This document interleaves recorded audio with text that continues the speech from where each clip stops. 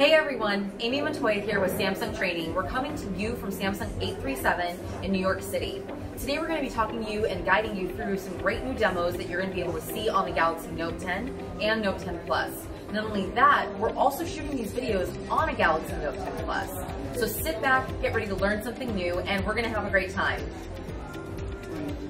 Here we're going to be demonstrating the new AR Doodle feature. There's a couple different ways to get there, so let's take a look at how you can access it.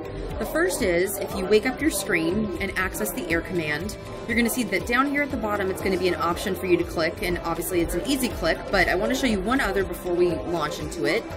If you go into your camera settings, which you can long press the S Pen button to launch the camera, and if you're not already on video, you can scroll through with the new air gestures right to left, but we want to be on video because up here in the right hand corner is going to be a new icon and that is going to be AR Doodle. So let's launch this.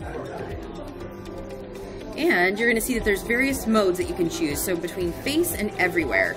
Now let's go ahead and click everywhere because we're, we don't have a person in front of us. And let's, uh, let's change some of this up. So I can choose to have some sparkles, you can see here that it's working through. We have some fun shapes that are happening. And you can see as I move the camera, that doodle will stay right in its place. Pretty fun stuff. Now, if I wanted to be able to record, that image will remain on the screen. And as I'm recording and moving things around, the image remains in place.